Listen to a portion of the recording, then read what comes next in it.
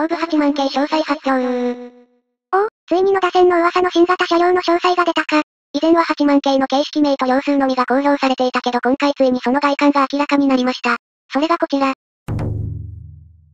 と、こいつとこいつ足して2で割ったみたいな見た目だな。色は6万系を引き継いでいる感じだね。というか野田線は地下走ったり分割併合ないのに貫通扉があるのか。もしかしたら今後東上線のこいつとか置き換えるためにこの形式を投入するかもね。でもってこっちが車内の様子だね。うわなんか意外な色だ。メトロ1万系みたいだな。LCD は横長の1画面に見えたけどこれは普通に2画面かな ?5 万、70とかについているのと同じタイプかな？それで楽しいとなるものも入れるみたいだね。こないだ商標登録されていたやつか。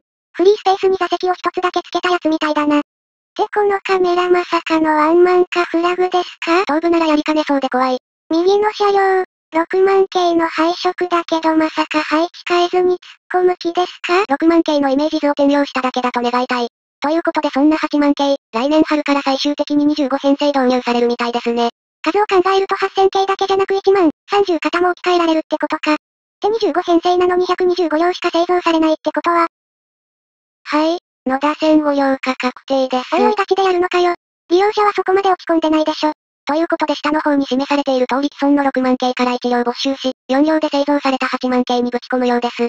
さすがに中間車とはいえ6万系を廃車にするのはもったいないからね。それでも1両減らして大丈夫なのか？特に春日部と運河の間は単線だから増発も厳しいっていうのに。まあ、特にラッシュ時は非常に心配だね。ということで8万系の今回発表された詳細はこのような感じですね。現行の8000系と1万、30型はほぼ確実に消滅するから記録はお早めにといったところだね。